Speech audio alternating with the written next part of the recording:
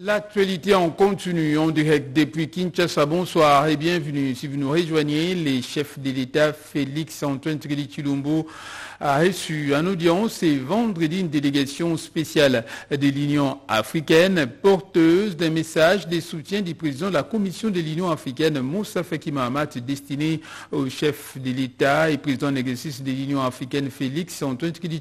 C'est un reportage de Fanny Kikoufi, Roger Diaye et Fisma Tondo ministre du Genre, Famille et Enfants et la conseillère spéciale du chef de l'État en charge de la jeunesse et de lutte contre les violences sexuelles faites à la femme, la délégation spéciale de la Commission de l'Union africaine, envoyée par son Excellence Moussa Faki Mohamed, président de la Commission, a été porteuse d'un message de soutien. En croire Mme Michel Ndiaye, le chef de l'État Félix Tshisekedi peut compter sur leur accompagnement dans ses nombreux projets en Afrique, mais plus exactement la grande conférence des hommes au sujet de la masculinité positive. Lui-même, euh, il a pris l'engagement de dire euh, je vais m'occuper d'un agenda particulier, c'est l'agenda des femmes. Et aujourd'hui, je pense qu'il est en train de mettre en œuvre beaucoup de projets en Afrique mais il y a un projet qui est phare et nous sommes venus pour lui, pour lui témoigner notre soutien pour que la grande conférence qu'il envisage de faire, euh, qu'on appelle la conférence des hommes, mais sur quel sujet la masculinité est, comme on dit, positive. Et ça, ce terme-là vient de lui. Et c'est pourquoi on lui a dit, nous, vous êtes notre champion, mais vous êtes le champion de cette masculinité positive. Donc pour nous, avec euh, la délégation qui est ici présente, venue d'Addis Abeba, mais également des femmes qui auraient voulu, s'il n'y avait pas Covid-19, être avec nous, Mme Helen Johnson-Sirleaf, euh, s'est entretenue avec le président euh, de la République au téléphone, mais c'était la première femme qui a été élue. Mais derrière Mme Helen Johnson-Sirleaf, il y a beaucoup de femmes leaders en Afrique qui lui disent, nous sommes avec vous, pour faire en sorte que euh, cet engagement soit une réalité. Ce que nous voulons réellement, c'est engager les hommes euh, et surtout les, euh, les leaders de ce continent pour prendre cet agenda en priorité. La question des droits des femmes et surtout son autonomisation, un pari gagné du chef de l'État, Félix Antoine Tshisekedi Chulombo. Ces femmes leaders l'ont témoigné et ont par l'occasion félicité le président de la République car aujourd'hui, les femmes occupent les postes le plus haut niveau des décisions en République démocratique du Congo, en exemple la Banque centrale du Congo. Le chef de l'État, Félix Antoine Tshisekedi a présidé et dirigé ce vendredi 8 octobre la 23e réunion du Conseil des ministres du gouvernement de la République tenue par visioconférence. Plusieurs points étaient inscrits à l'ordre du jour. L'intégralité du compte rendu succinct est à suivre juste après euh, cette édition du journal. Au moins cinq personnes ont trouvé la mort dans une attaque visant les centres de recherche de l'Institut national d'études et de recherche agronomique en Ituri. Parmi les personnes tuées, il y a des cadres de l'INERA, dont un agronome et un vétérinaire. Les présidents du conseil d'administration de cette structure ont séjour à Kinshasa en a informé les ministres de la recherche scientifique. Reportage. Quelques pertes en vies humaines ont été enregistrées au centre de recherche de l'Iniranyoka dans la province de l'Ituri et ce suite à une attaque d'un groupe rebelle. L'information a été livrée au ministre de Recherche scientifique et innovation technologique José Mpanda par le président du conseil d'administration de cette structure accompagné du directeur général adjoint qui craint que la province perde ce centre à la suite de la recrudescence de l'insécurité dans cette partie du territoire national. Ont été envahis, c'est tenu par les rebelles qui sont en Ituri. malheureusement, dans le centre, ils ont pillé, et non seulement des pillages, mais nous avons perdu des agents. On a tué nos agents. Quatre ou cinq agents, c'est quand même euh, beaucoup quand il s'agit de la vie, euh, des vies humaines. Les bétails, n'en parlons pas. Le centre perce ses cadres, il perce ses chercheurs. Nous sommes venus informer l'autorité pour que n'est-ce pas, des dispositions soient prises le plus rapidement possible pour euh, protéger les vies humaines et également protéger le matériel euh, de recherche au niveau de l'INERA Nyoka qui se trouve dans la province de Le ministre de Recherche scientifique et innovation technologique, José Mpandakabangu, a promis de saisir la haute hiérarchie pour que des solutions idoines soient trouvées la construction d'un centre des soins ophtalmologiques à Mbujimaï, sujet au menu des échanges entre les ministres de la Santé euh, publique et les secrétaires d'État hongrois en séjour à Kinshasa, reportage d'Edi Chala. C'est dans l'après-midi du jeudi 7 octobre 2021 que le ministre de la Santé publique, Hygiène et Prévention, le docteur Jean-Jacques Mbungani, accompagné de la vice-ministre Véronique Kilumba, a pendant plusieurs dizaines de minutes échangé avec le secrétaire d'État hongrois, Asbej, notamment sur quelques projets d'intérêt sanitaire initiés par la Hongrie en faveur de la République démocratique du Congo. Il s'agit principalement de deux projets. Le premier est la construction d'un centre ophtalmologique en Bougimaï, dans le Kasaï oriental, où un médecin hongrois a passé près de 25 ans au service de cette communauté-là. Le second projet porte sur l'utilisation de la télémédecine en milieu rural, un entretien très cordial entre les deux partenaires. Son Excellence a reçu avec euh, beaucoup euh, euh, d'allégresse ces, gestes, ces projets. Nous avons remis un chèque symbolique de 300, 370 000 dollars pour ces projets. Et nous avons dit que Son Excellence nous a assuré que si ces projets seront bénéfiques, nous, la Hongrie, nous viendrons encore pour implanter encore d'autres euh, projets de télémédecine dans les pays. C'est une rencontre qui s'inscrit dans le cadre des partenariats renforcés pour l'amélioration de la qualité des soins à offrir au peuple de la RDC. Lancement à Bukavu, chef-lieu la province du Sud Kivu, l'opération des paiements des prestateurs des prestations sociales des retraités. C'est la ministre de l'Emploi, du Travail et de la Prévoyance sociale qui en a donné l'ego après y avoir reçu un accueil chaleureux. Explication, Willy Atunakov tout comme Ulysse a effectué un long périple après Goma, Beni et Boutembo au Nord Kivu, ainsi que Bounia en Ituri, deux provinces sous état de siège, bravant tous risques et périls pour redonner du sourire aux travailleurs, retraités et autres prestataires sociaux du régime général de sécurité sociale en détresse, en véritable warrior, Claudine Doussi Mouankembe, ministre de l'Emploi, Travail et Prévoyance sociale, a finalement foulé, jeudi 7 octobre 2021, les sols ancestrales de Bukavu, cinquième et dernière étape de son itinérance humanitaire dans cette partie est de la République démocratique du Congo. À son arrivée par les ports de Bukavu, comme sur son parcours à pied, noyé dans une marée humaine, jusqu'au rond-point place de l'indépendance, long de plus de 2 km, la population en liesse a réservé un accueil très chaleureux, digne d'une fille du terroir appelée affectueusement ici Mamani Mama. Au sortir d'un bref entretien avec le gouverneur du Sud Kivu, Théo Ngwabidje Kassi, au gouvernorat, la patronne de l'emploi en RDC a dévoilé devant la presse l'objet de sa mission officielle. Le chef de l'État avait instruit à ce que le social du peuple congolais soit pris en priorité. Le peuple d'abord, pour nous autres, c'est qui gérons les veuves, les pensionnés, les orphelins, et également euh, lancer le paiement de prestations sociales pour le troisième trimestre 2021 Signalons que la journée de travail à Bukavu du numéro 1 de l'emploi en République démocratique du Congo prévoit ce vendredi le lancement de l'opération des prestations sociales et la remise des dons de vivres et non-vivres aux retraités, rentiers et veuves affiliés à la Caisse nationale de sécurité sociale.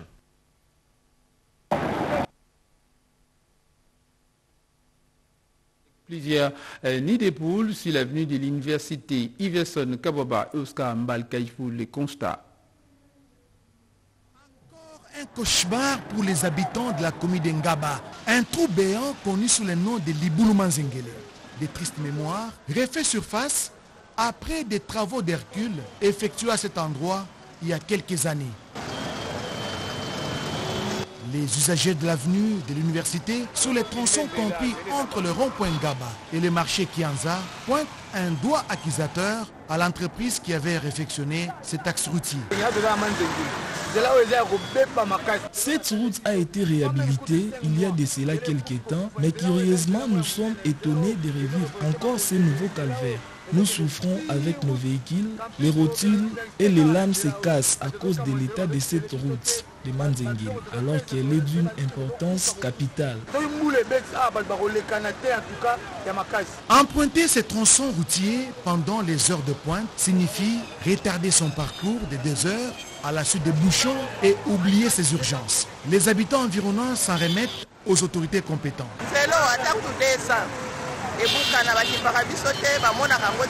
Nous vivons comme des enfants abandonnés, sinon comme des orphelins, alors que la mission des autorités urbaines est aussi d'assurer les bonnes conditions à leurs habitants. Nos autorités elles-mêmes, pendant qu'elles étaient aux études, elles passaient sur cette avenue. Pour mettre fin à ce triste et célèbre nom de Liboulou Manzengele, des travaux de génie civil et de qualité méritent d'être effectués. Dans l'entretemps, l'avenue de l'université reste peu fréquentable. La ministre provinciale de la Santé publique de la ville de Kinshasa a procédé à l'inauguration d'un forage d'eau au quartier Maboulou dans la commune de Makala. Les points avec Béatrice Chaco. Désormais, L'eau coulera à flot au centre de santé de Kimbanzi, situé au quartier Maboulou 1, dans la commune de Makala, resté longtemps sans cette denrée. La ministre provinciale de la Santé, Hygiène et Prévention, Lisa Nembalemba, a procédé ce jeudi 7 octobre à la coupure du ruban symbolique, mettant ainsi en service ce forage à la disposition non seulement de cet hôpital, mais aussi de la population de ce coin de la ville. Ces initiatives dans le secteur de la santé ne peuvent que être encouragées.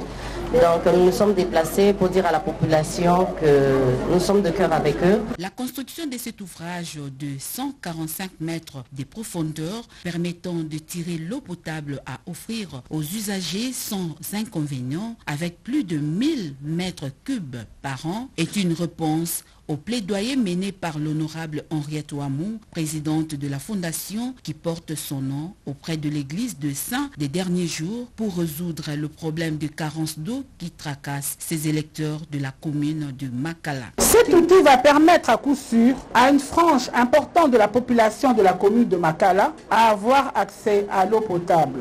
Ces travaux ont été financés par le département d'aide humanitaire de l'Église de Jésus-Christ des Saints des derniers jours, exécutés par l'entreprise Emmanuel Office Espérel. Pour cette Église, la foi doit être accompagnée par l'acte. La, cité de Mwanda au Congo central est menacée dangereusement par les érosions côtières provoquées par les eaux de l'océan Atlantique. Les autorités locales lancent un cri d'alarme et de désespoir envers les autorités compétentes. Mamita Bangoulou et Jean-Pierre de Lodemazo. Les érosions côtière demeure un danger permanent pour la cité de Mwanda dans la province du Congo central. Chaque année, la cité perd au moins 3 mètres de ses côtes océaniques suite à la pression des vagues qui détruisent tout par la force de l'eau. Une alerte donnée par les autorités locales qui demandent au programme des Nations Unies pour le développement à travers le projet dénommé Panazone côtière de refinancer ce projet afin de ne pas perdre l'élan dans les efforts consentis dans la lutte contre les érosions côtières. Il faut jeter des moellons pour diminuer la force des vagues. Les mines tombaient parce que ces mines n'étaient pas protégées. De ne pas jeter le sel dans l'eau. Parce que quand on jette le sel dans l'eau, on ne peut plus le voir. Le coordonnateur du projet, André Mbombochi, explique l'ouvrage qui maintient le mur de la côte construit grâce au financement du Fonds environnemental mondial dont le projet est exécuté par le Programme des Nations Unies pour le développement. Cependant, le gouvernement tarde à honorer ses engagements. Jeter les moellons pour diminuer la force des vagues et le cri de cœur de la population à travers les autorités traditionnelles qui émettent le vœu de voir le projet Panazone côtière poursuivre sa mission pour sauver la zone côtière de Mwanda qui risque de disparaître si on y prend garde. Recherche du bien-être de la population du Cassé oriental, le député national Eric Ngalula Idunga est allé à la rencontre des membres du bureau de l'Assemblée provinciale de cette partie du pays. Reportage Rodiponda. Le Kassai oriental attend de nouveaux dirigeants à la tête de la province, à l'instar d'autres provinces qui se préparent aux élections de gouverneurs. Pour assurer un climat apaisé, en prélude de cette élection, le bureau de l'Assemblée provinciale du Kassai oriental a échangé avec le député national Eric Ngalla Ilunga en séjour dans la ville de Mbujimaï pour soutenir la gratuité de l'enseignement, lui-même candidat au poste de gouverneur du Kassai oriental. Le plus important, c'est le développement. Se mettre ensemble pour reconstruire cette province longtemps oubliée. Lorsqu'il y a une harmonie, le développement, les investisseurs, l'emploi, l'énergie, tout ce que vous pouvez dire va suivre. L'élu de Lupatapata s'est tour à tour entretenu d'abord avec le vice-président de l'Assemblée provinciale, puis avec le président Kabongo. Malebongo, à qui il a adressé ses félicitations pour son élévation à la tête de cet organe délibérant du Kassai oriental. Pour Eric Ngalula Ilungan, c'est dans l'harmonie que le Kassai de l'Est connaîtra son véritable envol. C'était l'occasion de confirmer sa candidature au poste de gouverneur. J'ai déposé ma candidature comme gouverneur de la province du Kassai oriental auprès de la commission électorale permanente de l'UDPS. Je suis membre de l'UDPS. C'est le parti qui décidera pour retenir un seul candidat. Notez que deux ans et demi après la première alternance démocratique, le Kassai oriental peine toujours à décoller. Et au bout des 112 ans de présence missionnaire au Congo, des frères des écoles chrétiennes, les pères lassaliens ont rendu grâce à Dieu au cours d'un repas fraternel au centre lassalien de Kitambo. Les points avec Peggy Mukunda. 7 octobre 1907, 7 octobre 2021, 112 ans jour pour jour depuis que les frères pionniers missionnaires des écoles chrétiennes ont consacré leur vie pour venir servir le Congo et cela à travers l'enseignement. En guise des hommages leur réservés, les frères visiteurs provinciaux a organisé un repas fraternel au centre lassalien de formation professionnelle Saint-Georges. L'existence de 112 ans pour une congrégation, c'est une occasion de joie et une occasion de rendre grâce à Dieu. Parce que la petite œuvre qui a commencé à Boma est aujourd'hui répandue à travers le Congo et cette œuvre porte des fruits. Sur les cinq présidents que notre pays a eu depuis son accession à l'indépendance, il y a trois qui sont passés entre les mains des frères. Il y a le président Joseph Kassavubu, le président Mobutu, et l'actuel chef de l'État qui est aussi fruit des frères. D'abord, c'est la gratitude pour notre part parce qu'ils sont là depuis 112 ans et comme le frère visiteur l'a dit, les résultats sont là. Donc on ne peut même plus faire beaucoup de commentaires là-dessus parce que la réalité euh, témoigne tout ou confirme tout. Bien avant ces repas fraternels, les autorités de l'EPST, les Lassaliens et quelques invités ont effectué une visite facultative au centre d'accueil Saint-Georges. L'intersyndicale de l'enseignement primaire, secondaire et technique a, au cours d'une réunion tenue à Kinshasa, décidé de procéder au remplacement de son comité afin de désamorcer la crise. Propos recueillis par Odépanda. Les revendications des enseignants ont bénéficié d'une attention favorable de la part du gouvernement avec un ajout de 40 000 francs congolais. Pour les enseignants, vaut mieux un que zéro. Mais la satisfaction ne sera atteinte qu'avec l'application des accords de Bibois. À propos du dysfonctionnement observé au sein de l'intersyndicale, la majorité a opté pour la destitution de l'équipe dirigeante pour la remplacer par un comité provisoire. Après avoir passé en revue l'ensemble des préoccupations qui justifient l'actuelle crise au sein de l'intersyndicale de l'EPST, la majorité des syndicats membres de l'intersyndicale de l'EPST ont noté ce qui suit comme les principaux griefs retenus à charge de ces bureaux. L'actuel bureau de l'intersyndicale de l'EPST a abandonné les principales missions des syndicats. La recherche constante des intérêts égoïstes et non d'ordre général par le bradage des acquis de la commission parité de Bibois, le bureau de l'intersyndicale de l'EPST a brillamment failli dans les préparatifs des assises de la commission paritaire gouvernement de la République, bas syndicat de l'EPST, dont les travaux sont suspendus.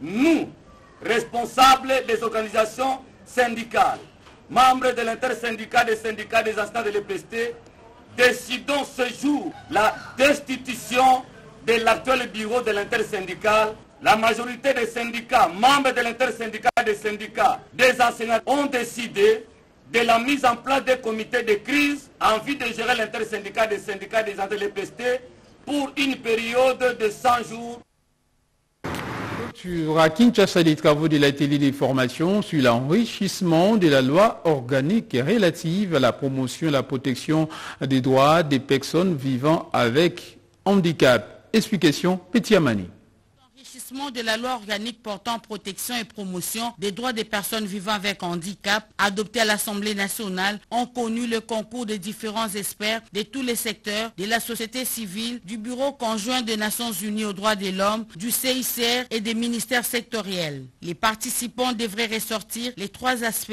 dont la loi sur la promotion, la protection et la participation des personnes vivant avec handicap pour aboutir à une meilleure inclusion sociale. Cet atelier qui a été clôturé par le directeur du cabinet du ministre délégué en charge des personnes vivant avec handicap, Philbert Sessanga, a mis un accent particulier sur les mesures d'application de l'article 49 de cette loi devant répondre à certains instruments juridiques.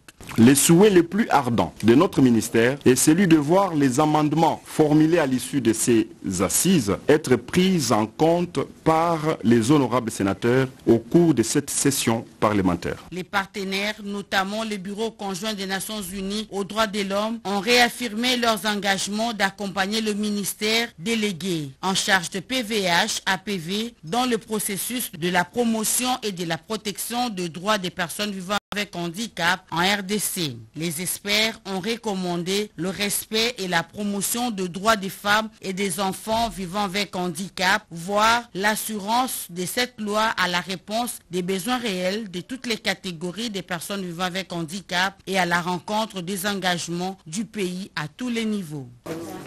La reconstitution des biens culturels spoliés a fait l'objet de discussions et de débats au Musée national de la République démocratique du Congo. Le directeur général intérimaire de la RTNC, Freddy Moulumba, a participé à cette rencontre. Lixon Kabbalah. En prélude de l'organisation prochaine du colloque scientifique international sur la reconstruction des patrimoines culturels de la République démocratique du Congo, la conférence tenue par le conseiller principal du chef de l'État au Collège de culture, arts et questions religieuses de Chilumba Kabea a eu lieu au musée national à Kinshasa. L'exposé du conseiller Deo Chilumba a intéressé le public, d'où cette implication de l'assistance avec beaucoup de questions et contributions dans ces lots, la remise des objets culturels remis par un ami du Congo de l'Algérie nous avons pris l'initiative de tenir euh, un colloque international. Euh, ce colloque va se tenir du 1er au 4 décembre. Nous disons international pourquoi? Parce que nous avons fait appel euh, aux Congolais, aux Africains et aux, aux Occidentaux. La question est très préoccupante. Il faut coordonner et surtout la réflexion. C'est pourquoi nous faisons appel aux professeurs d'université, aux chercheurs qui vont se joindre à nous pour qu'ensemble nous puissions euh, réfléchir sur la question et envoyer de recommandations au président de la République. Le ministère de la Culture et Arts a été désigné pour la gestion des objets d'ouvrage récupérés. La participation des femmes aux instances des prises de décision au cœur d'un atelier de réflexion sur les traitements genre. Reportage Rodéponda. Entre hommes et femmes dans la profession est un élément incontestable dans le cadre de la politique du genre au sein des différents services. Ayant constaté le besoin de représentativité, genre le Bureau central de coordination et de contrôle BCCOM, qui veut s'inscrire sur l'échiquier mondial, a organisé une matinée d'échange pour discuter sur l'égalité des genres, pour le développement intégral qui prend en compte le droit des uns et des autres. C'est tout l'objectif poursuivi au cours de cet atelier de réflexion consacré dans les traitements genre.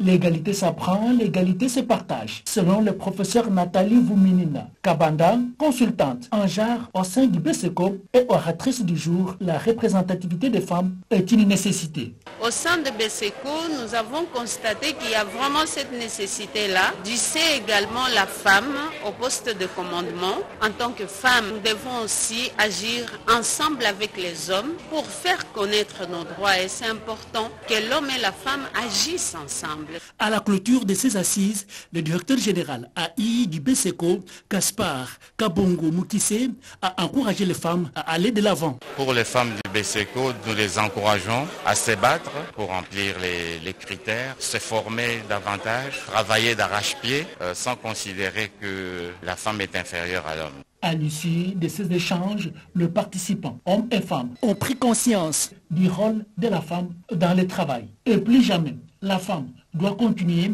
à se victimiser. Au cours d'une matinée politique tenue dans le district de Moamba, le groupe de réflexion d'élite tuségédiste a procédé à l'installation des membres du comité fédéral Moamba. Reportage Jean-Pierre Delodé Mazou.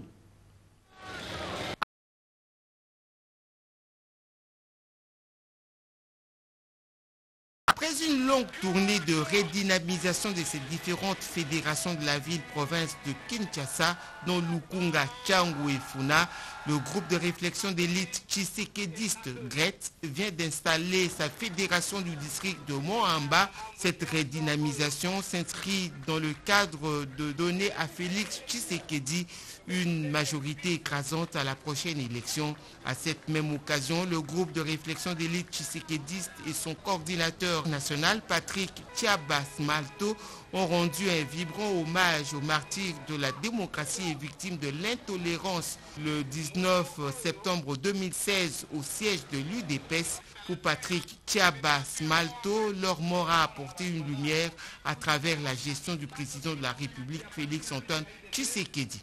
C'est au prix du sang que l'IDPS a ses pouvoirs. C'est au prix des tortures que l'IDPS a des pouvoirs. C'est au prix de la vie que l'IDPS a ses pouvoirs. Et aujourd'hui, l'IDPS au pouvoir, c'est grâce d'abord, un par Dieu, et par rapport à la lutte, on a fait.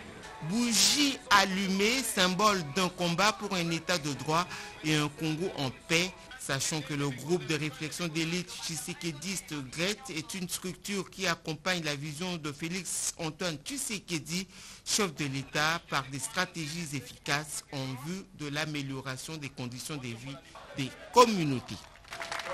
Le gouverneur de la province d'Ilomami s'est joint à la famille biologique des regrettés Kitengi Yizou et de sa formation politique. Question de procéder à la levée de deuil et lui rendre également hommage. Décédé au mois de mai dernier à Kinshasa, Henri Tengeyesu, homme d'État qui a demeuré régulièrement jusqu'à sa mort aux côtés du président de la République, Félix Antoine Tshisekedi Chilombo, sa mémoire est encore présente dans les têtes des Congolais en général et de la population d'Ilomami en particulier. Des centaines de filles et fils d'Ilomami se sont rassemblés à l'hôtel Kitenge dans le territoire de Kabinda province d'Ilomami. À cet effet, les dirigeants locaux et la population autochtone de toutes les tendances confondues, les dignitaires ainsi que les membres des familles, avec à la tête le gouverneur de province, ont rendu un vibrant hommage lors de la levée de deuil de celui qu'ils appelaient affectueusement grand chef. Patriarche pour la province d'Ilomami, il était un baobab de toute sa vie, il était unificateur, il était rassembleur, il était pacificateur. Pour sa part, Olivier Kitengeyezu, en séjour dans les territoires de Kabinda, de vive voix, il a remercié toute la communauté songé pour l'amour témoigné à son défunt père. Qui...